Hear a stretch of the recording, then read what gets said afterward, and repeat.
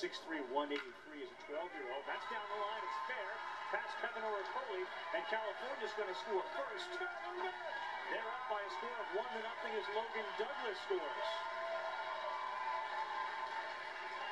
Six foot three, can swing the bat.